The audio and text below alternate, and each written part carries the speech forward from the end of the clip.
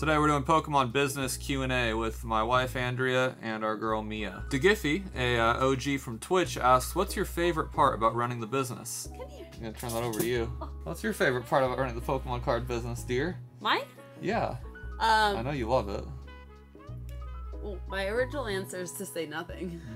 But We need to stretch it out to 10 minutes. yeah, yeah, yeah. So need that ad I'm gonna money. say that my favorite part is that you get to stay home and take care of the dogs while I actually go make a living. Oh, while you work your real job? Yep. Okay. That's actually a good answer. Yeah. Yeah, she really was gonna say nothing. Uh, to answer the question about what my favorite part of owning the business is, uh, definitely spending time with the doggos. I think they'd be super lonely if we were both gone from like nine to five. But uh, I don't know. I think I'm a really unhireable person. I don't think I could get a real job anymore. Only He has too many needs. I have too many needs, yes. So at this point, this is kind of all I've got. Like, if I don't continue doing PokeNE, I'm, I'm gonna have to do something else that I make up. Uh, start the ASMR channel again. Uh, a clothing company or a reptile zoo. Yeah, I, I'm stuck. I'm stuck with this job. So hanging out with the dogs and just like the freedom of it, because I, I just can't answer to people or stay awake during the day. I'm unhireable. That's a good descriptive word for you. Unhireable. Yeah. Yeah. Y- Like nobody would want me. Really matches you. Uh, DeGiffy also asks about the lick count to get to the center of a Tootsie Pop. 150. Okay. Javier asks, what store item has been selling the best this month? Do you know? My first gut feeling is um, Twilight Masquerade because Okay. it has the the Oh, okay. the geode The Geode? uh, green You're so close. Greninja. earlier. Wow, there it is. Okay. Greninja card in it, and Yep. apparently that's hot stuff, you know. Hot stuff, guys. Or as you know, just a classic of 151. Do you want available now on back order? Uh, honestly, she's she's bright. I don't know which one though. It's one. It's either 151 or Twilight Masquerade. And honestly, right now, Surging Sparks because we put that on pre-order like you know two and a half months before it comes out. So technically, this week, Surging Sparks. Are you excited about Surging Sparks? No, Uh, favorite Pokemon? An Eevee. Oh. It's an Eevee. Why don't you tell him your real answer? I have a different one. Yeah. Oh, well, it's the Black Charizard because Brian never had one. Yeah. So we played Pokemon Go for like 40 hours a week uh, years ago, and it was Community Day for Charmander, and she I got a shiny. she got a shiny. I did not. It's been six years. Yeah. She doesn't play anymore, but she won't trade it to me. So so shiny It's the Charmander. principle. You have to get it on your own. I've I've said it before. I like Ampharos a lot, but I'm getting Kabutops tattooed on my like tricep here when we hit 10 million in revenue. So Kabutops is ranked up there too. Otherwise, you know, I wouldn't permanently affix them to my body. She's getting a Pokemon tattoo once we hit 25,000 subs. No. This is a question from Risen Sparrow. How many questions of Pokemon cards can you lift? How many? What? Cases of Pokemon There you cards can you lift? That's five. I don't want to add another one, honestly. More than five. That was something. Ruand. So Ruand. I don't know. So Ruand, what set would you recommend for new seller with low capital? Uh, I'd say like honestly 151 just because of the popularity. It's going up in price quite a bit though, honestly. Uh, just a few weeks ago we were selling it for like I think like 65 or so. Then it went to 75. Then we went down to 72 for a little bit. Now we're at 78. So it's like expensive, but it also sells super fast. The the churn and burn is real on 151. Uh, the one problem I have with it is it's only 20 packs. So you, you can only divide the price by 20 instead of 30. And dividing by 30 is nice because if you buy like a box for say 35 bucks, 30 packs, you can sell each pack for like $2, which is totally affordable. And then you double your money. So I'd say a, a box with 30 packs, like any any any time it's the newest set. Stellar Miracle would be the newest set right now. Paradise Dragona is gonna be, I think, a little more expensive, maybe like $65 on the U.S. market. So, but still, you can divide it by 30 packs, and again, if you sell each pack for, you know, three bucks, it's like you're making 30, 40 percent on your money. So, Dragona probably 151 definitely. It's real entertaining stuff here. Mountaintop Pressure asks, What is the best Chinese set you've ripped? Well, I haven't ripped very much Chinese quite yet, but uh, Brave Stars I think will probably end up being the best. Brave and Charming Stars because they have the 14 exclusive Pokemon Go arts that you can't find in like any other language. Uh, long story short, Niantic's banned in China, so Niantic uh, owns a lot of the artwork for the Pokemon Go cards, and since Niantic's banned, Pokemon had to kind of like redesign 14 of the cards in a Brave and Charming Star. So you get exclusive art. It's kind of a fun gimmick. Um, you know, Nine Colors Gathering I think will be everyone else's favorite. That's our bestseller for China. But I've done enough Eevee Heroes where it's not like that exciting or different. Thoughts? Oh well, I originally thought the question was gonna be, was gonna be, "What's your favorite Chinese restaurant?" Wow. That's Okay. what I thought you were gonna say.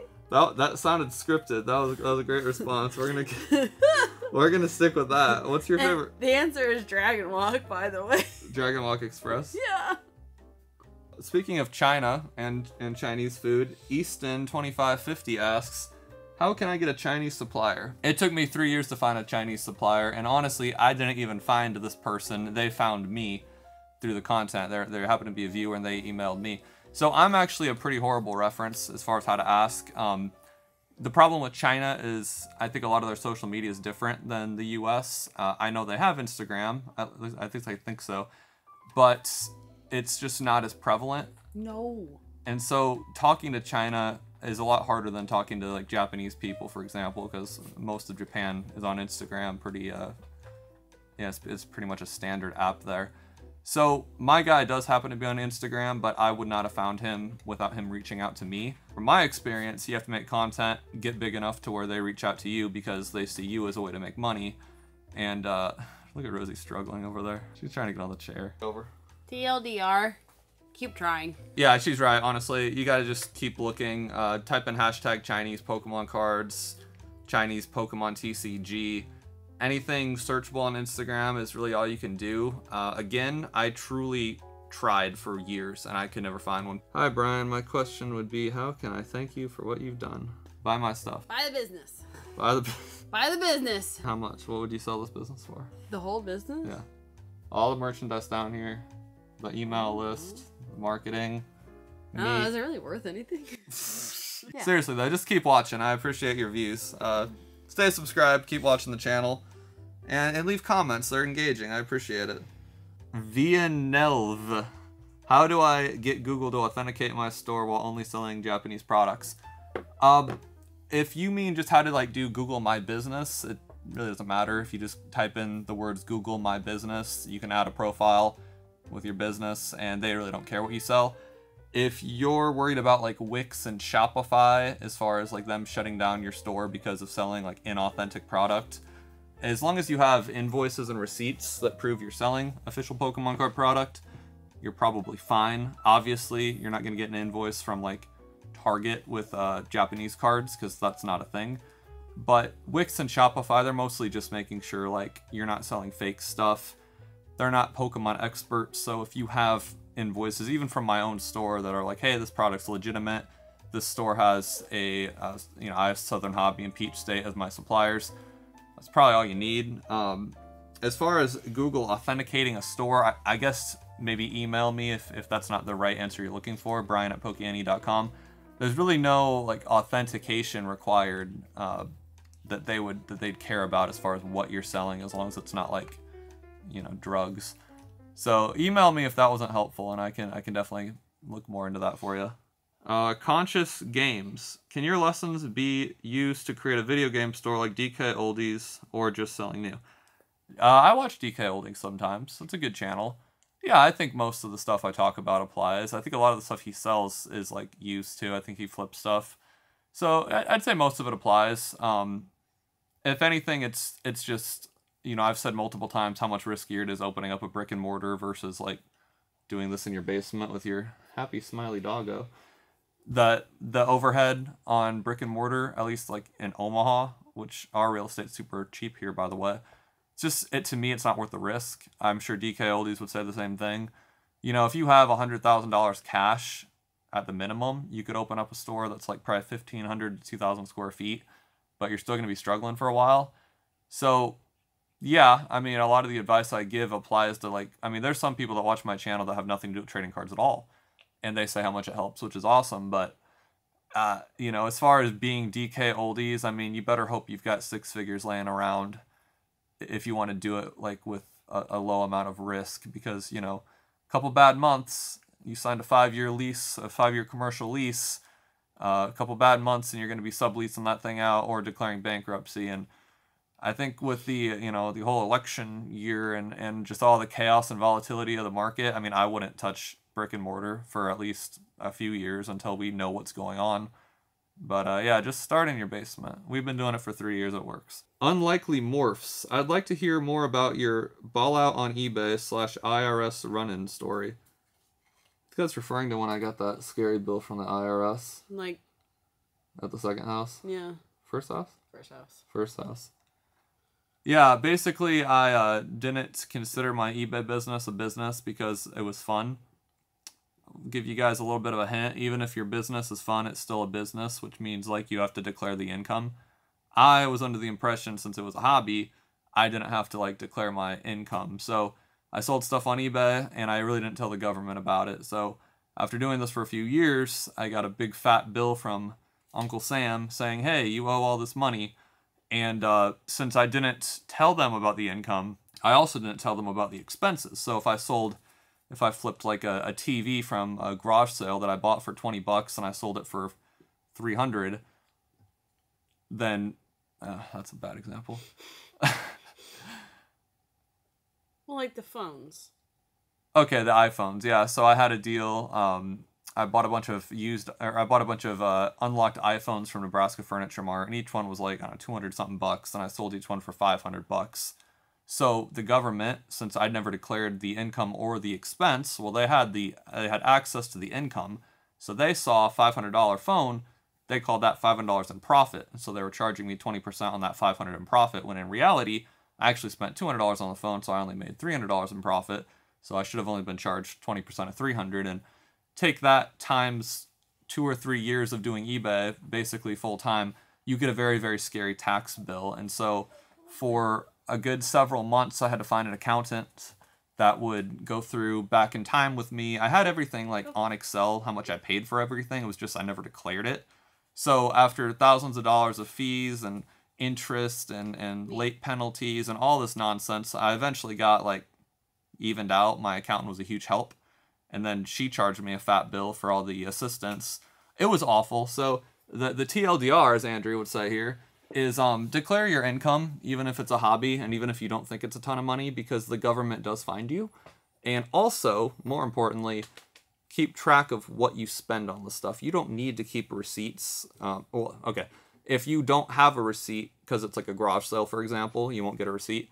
That's fine. Like, but make sure you keep a record. If you go to a garage sale or or a Collect-A-Con or some sort of other convention and you spend ten dollars on a booster pack and you want to sell it for fifteen at home, you gotta keep track that you spent ten. Otherwise, it's gonna be fifteen in profit in the government's eyes. So keep an Excel. I always say the who, what, where, when, why. Who'd you buy it from? What company you buy it from? Uh, you know, where did you get it? What location and what like convention name? Uh, what is the product? Just describe it quickly. Who, what, where, when, when you bought, when you bought it, the date, and why. Uh, that would just be a business expense. Cost of goods, cost of goods sold. So who, what, where, when, why on Excel. That's all you really need. We have just there to ask a Pokemon question. I like the name. Will there be a follow up to the new business from scratch playlist, or is Wix still unreliable for newcomers? Uh, no and no. So I realized that running two businesses it wasn't really in the cards for me. Haha. that was a good good dad joke. In the cards. Ha. Wait, what two businesses were you gonna run? oh, I was gonna do like a if I started from scratch and I was gonna start a whole second business. Oh yeah, you never did that. No. Yeah. No. I realized I was just not no, I don't have the bandwidth for that. That was a good choice. Yeah, probably. So I realized that I'm better off just teaching you guys exactly what I do for PokeNE than documenting some journey of some second business that I can't do both and go to the gym and actually have like a wife that, you know, sees me. So yeah, no, I'm not going to continue that particular series, but everything that I would have taught and would have showed you in that series, I do intend to make videos on and I probably have made videos on over the course of the last several months. And if there's something specific that you want that I haven't talked about yet, leave it in the comment section. But chances are everything I would have done in that series, I'm, I talk about at the very least, even in these Q and A videos alone. Uh, as far as is Wix unreliable for newcomers, I made a video that was like all doom and gloom. Like Wix is, you know, not allowing new people to start a Pokemon card business, shut it down, give up, you know, go, never try again. But then I made an updated video, uh, maybe a, a, month or so later. I'll pin that video right here, and it's like a 10 or 15 minute video. It should be a good watch. Uh, the TLDR there. You should be fine as long as you just follow the steps. I don't think it's going to be as doom and gloom as my original video suggested. I'm just going with what I hear on the market, and at the time, Wix and Shopify were going pretty crazy. Austin Soilow asks, Big fan of the channel. Sponsor me for my next pro MMA fight? Uh, no, but I will shout you out. So if you like MMA, go check out Austin's channel. Right now, we're just sponsoring uh, Pokemon YouTubers who yeah, a little more in the demographic. I'm sure there's a lot of MMA people that like Pokemon, though. So I won't sponsor you, but I will shout you out. Go check out Austin, guys. Fabrizio asks, hey, there's apparently Amex charges 3.5% credit card processing fees compared to the other ones, which I think are 3%. How are you handling that? I just pay it. When you run a business at scale and volume, you can't really look at the small stuff. You know, if someone's charging a little more processing fee, if someone lives somewhere a little farther away and you lose money on shipping, if someone rips you off, you know, that there's going to be theft, there's going to be uh, extra charges here and there. There's going to be conversions from yen to USD and vice versa that aren't favorable. When you're moving hundreds of thousands of dollars a month in cards, do those percentages add up? Absolutely. But can you do anything about it? Realistically, to move the needle, no. So you just deal with it. You complain about it to your wife and you call it a day. She said she agrees. Uh, what's your typical day look like? SN16. So I actually have made quite a few little vlogs. Um, I have a playlist, I think, the business vlog playlist. For the most part, I wake up whenever I want. Uh, I, I used to wake up at like 1 p.m. a lot. I've been trying a little harder to do like 10:30 to 11. Typically, I do the orders from the night prior. Uh, the post office comes around noon-ish, and they pick everything up for me, which is great. After that, you know, I play with the dogs a little bit, take a little bit of a break and then it's just a, a hodgepodge of things. Um, sometimes I talk to Japan if there's a new set coming out, negotiations need to be made. A lot of times I talk to the English supplier, Southern Hobby or Peach State, about you know new sets coming in, any deals they can give me.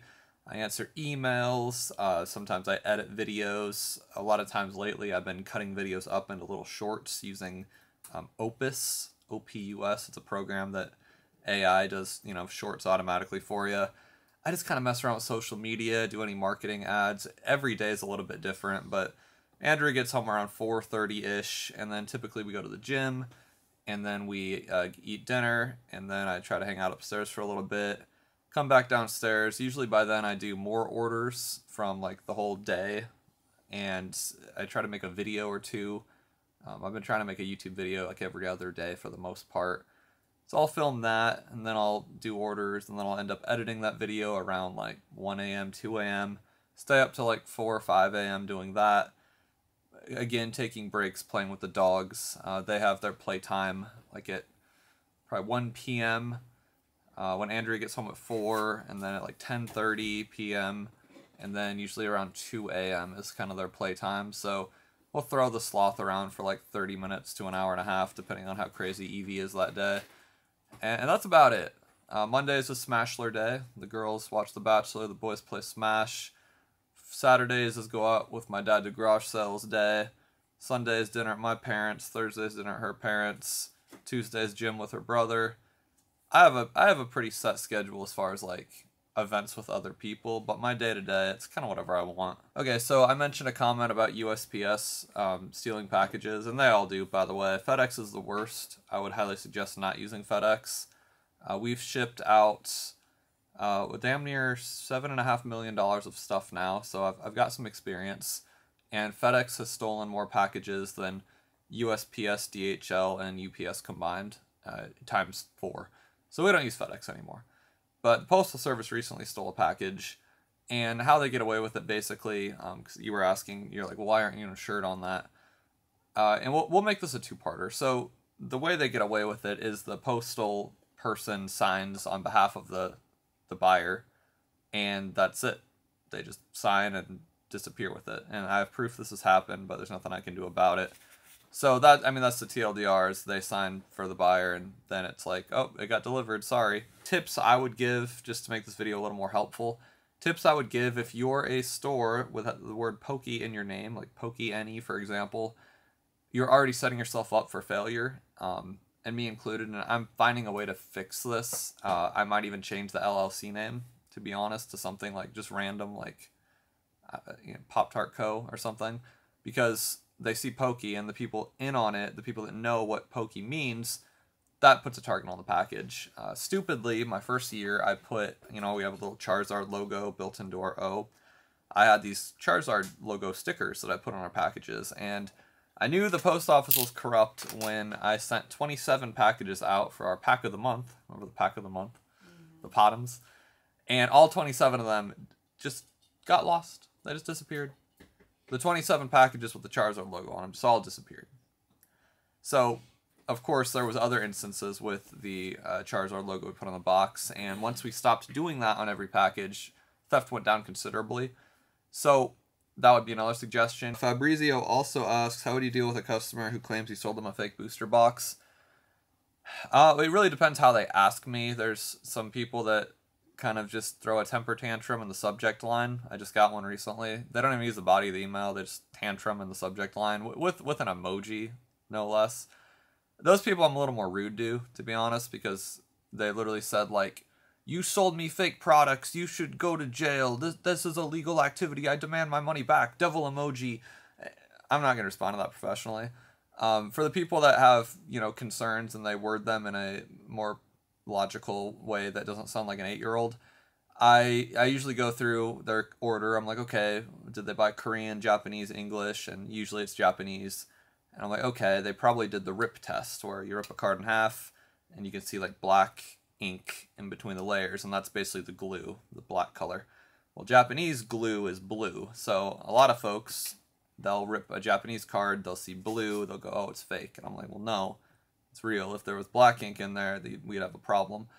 So I'll go through, you know, some steps. Usually I, I ask for pictures. Um, there's never been a time we sent anything fake but you know you got to go through the motions with these people there was one guy i just legitimately could not convince the product was real it was a korean box and the uh, i think the issue was it was a ancient roar future flash and that was when they started not not covering them in plastic. Like they just ship them it was stupid. Korea effed up on that.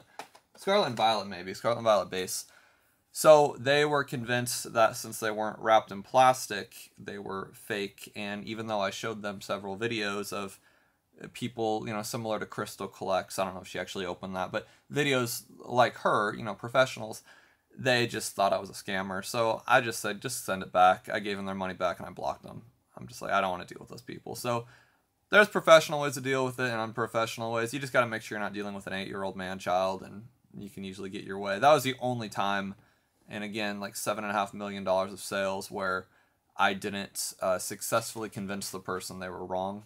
So if you're worried about starting a business, if that's like your hang up, like oh, what if people accuse me of selling fake stuff?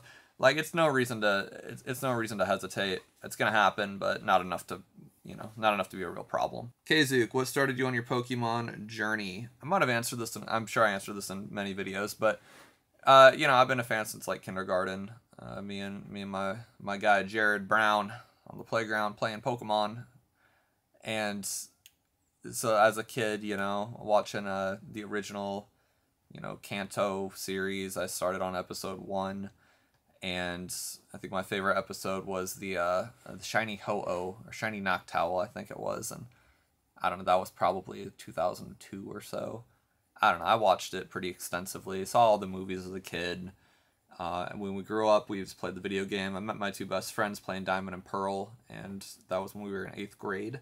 And we're still best friends, and now we're all 31. So it, it definitely, you know, the friend group influence. Uh, we named our doggo Evie, our first girl. And we played Pokemon Go like 40 hours a week. We were addicted. And then as far as the business goes, um, I, I flipped stuff on eBay my whole life and I just found a good flip in the form of a Japanese Charizard Grand Prix card. I managed to buy them in bulk, sold them individually in the States. I made a lot of money that way, and then someone suggested, hey, you sell all these Japanese Charizards, do you want to sell other Japanese things? We, we could use those, and this was during COVID. I have a whole long video about this, so to, to shorten it up, started selling booster boxes I sourced from Instagram sellers, and uh, it just scaled up from there. So, you know, childhood dreams, just like everyone else. A very lucky eBay flip and a very timely market thanks to the you know global disaster that was the pandemic. So a little bit of luck, a little bit of timing. Uh, this guy, Slater Curtis. So he talks about, it's a very small print. So he's got a business he started, uh, it's on 1.4 million in gross, that's awesome. And one of the large portion of my revenue comes from brick and mortar that I built a relationship with. Have you ever have you ever reached out to large stores like brick and mortar to basically sell them stuff in bulk? And yeah, we, we have a lot of uh, brick and mortar folks that we sell in bulk too we're not a distributor by any means. Like we're retail first, but uh, we we can offer better prices if you buy in bulk. Just email me Brian at pokene.com. Our biggest customers are actually streamers though, uh, TikTok and and whatnot and Drip. Those folks reach out to us quite frequently and and they buy products. You know, one guy spends like twenty thousand dollars every six to eight weeks or so, and a lot of other people spend between you know five and six a month or so. So most of it's streamers. Uh, a lot of brick and mortar people already have a distributor, so they don't really need me. You know, they're if you have a brick and mortar store, you've got just as good of access as I do. But if you're starting out, email me. I can try to make something work. Oh, he also asked about Google Ads. Yeah, so he, he also asked about Google Ads, and he's asking, hey, why don't you talk about those more? Google Ads for me, they've just always sucked. Uh, I use Google Merchant Center, so you can you know find my products if you type in a product name. There's a chance that mine will show up in the shopping area, but I don't I don't pay for Google Ads. The cost per the cost per conversion just isn't good compared to Meta, so like Instagram and Facebook.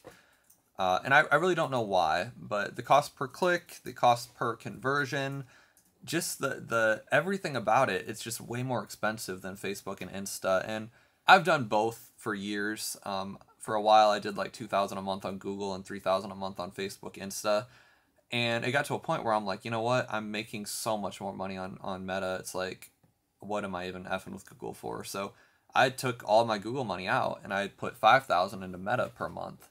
And now I lowered it to three because the ROAS just wasn't doing as well. I think mostly because there wasn't a lot of cool products out. Now that uh, the the new Sparky set, the new Pikachu set, whatever it's called, now that that's coming out, and when the new uh, like Eevee Heroes 2 in December comes out, and then of course the Rocket set and the Gym Hero set when those are coming out.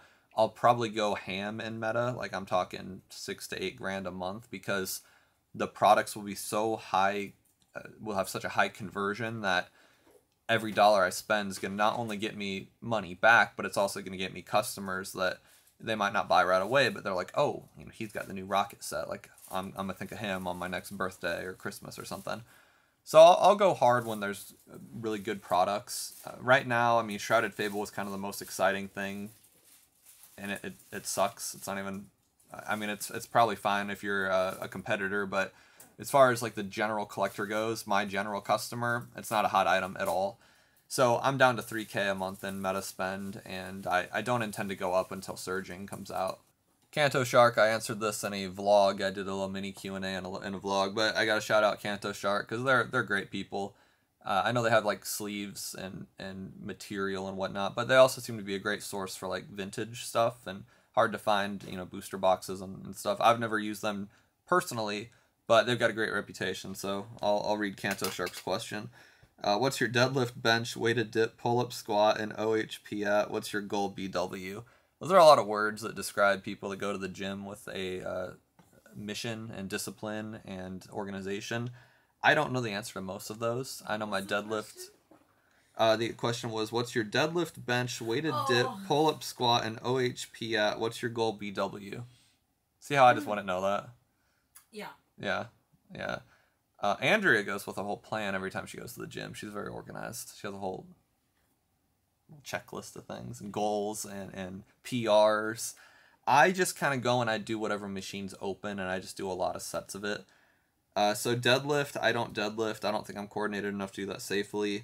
Bench, I bench like plates and 20s. It's fine. Weighted dip, uh, I used to like put chains on my ankles or like dumbbells and I'm just not fancy enough anymore. So I just I just do a bunch of them. Pull ups, I try to do 100 pull ups a day when I'm at the gym. That's the, that's the one thing I'm really like objectively good at. Squat, I effed my knee up doing some stupid parkour move like 12 years ago, and I literally can't squat now. So always skip leg day. It's it's a mantra for a reason. I do the little lay down when you push the machine up squat machine, and I do two plates on each side, but then my knee hurts for the rest of the week. So yeah, that's why I have skinny legs. Uh, OHP, I don't know what that means. Overhead press. Overhead press, I literally, wow, that was good. I literally cannot overhead press, I think 20 pounds. Like, I don't have the flexibility to raise my arms. I got effed up shoulders too. I think it's a genetic thing because my dad had to get his shoulders replaced. I have muscle aesthetically, but I'm actually not very good at the gym. I can answer these questions way better than you can. Do you want to come over here and answer the questions? No. I don't. Come on. I mean, like none of my numbers aren't like big enough to like brag about. You're talking. Like, You're talking to people like me who collect Pokemon cards full time. Your numbers yeah, are gonna be but, great. Like, it's not like a lot at all. Okay, since Andrea is such an organized gym girl, let's let's hear what her stats are. So. So my overhead press was will be like next week I'll do 12 and a half pounds. So but that's of dumbbells one in each hand. So okay, like 24 pounds, 25 pounds total. yeah. Like that's not a lot. Alright, what was the other one? Uh, deadlift. I've never wrote down anything on my phone at the gym. Uh 40 pounds. Okay. You need to like say it more confidently. that's not a lot. Bench. You don't really bench. I do. I I do dumbbell bunches. Oh, dumbbell bench press. Uh 20s. Solid. Mm. Weighted dip. No, I don't do dips.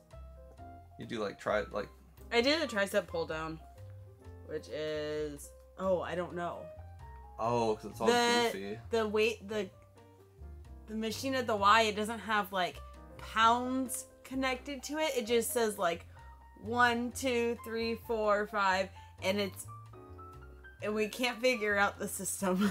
Yeah, the there's metric, there's imperial, and then there's the YMCA, and and there can I don't understand it. I think you you do like two, no, three, three. Okay, the number three at the YMCA whatever that means. in Omaha. Lastly, I answered this in the vlog too, but uh, Dr. Dayton Hancock, Yu Nagaba promos shouted out. Uh, he says, "Hey, why don't people talk about the Yu Nagaba cards more?" And I, honestly, I don't know. I think they're cool. So, this is uh, one Yu Nagaba item. It's like a EV deck box. There's deck box, sleeves, and a cool playmat. It's on the site. There's no packs in here, so it's kind of a scam if you open it. I'd suggest buying it for your sealed collection because it actually does look really cool. But there are uh, Nagaba packs as well, and you might have seen kind of the hand drawn. There's a hand drawn Umbreon, Espeon, all the evolutions. They're kind of in a like simplistic line art form. Type it into Google. We used to sell the packs. Now they're super bougie. They're like 25 bucks a pack. I just I can't justify it. I think it's stupid. But you can buy the singles for a pretty good price on like eBay, for example. So type in Nagabon eBay. They're really cool. And I, I hope Pokemon partners with uh, that artist again in the future because it's it's good stuff. It's just a little overpriced right now. That concludes today's Q&A. Thanks for watching, everybody. If you want to buy some stuff, go to pokene.com. If you want to learn how to start your own Pokemon card business, subscribe to the channel. Any final words? Don't do it.